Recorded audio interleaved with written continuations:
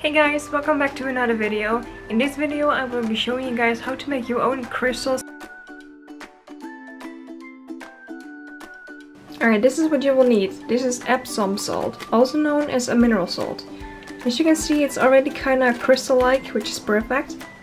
You're also gonna need a shallow container, a sponge, but it's optional, and a pan. And of course a stove, because you will be needing to boil the crystals into the water. Alright, so let's go. Alright, this is what you're gonna need for the crystals. This is for the water, and this is for the salt. As you can see, I've already poured in the salt, which is hopefully enough. So I'm just gonna put that aside, add the water, and put the water in this pan, and put it to a boiling point.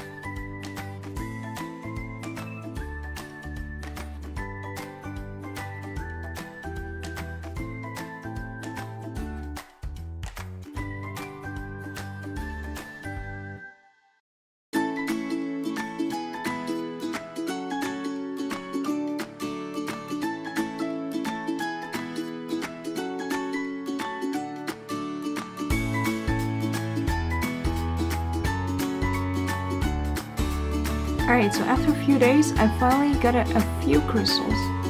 They're pretty solid and shiny.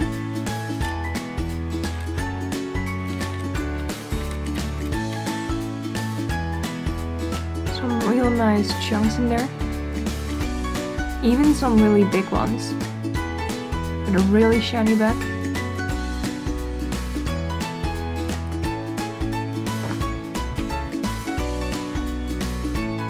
Pretty awesome. So this took about three days.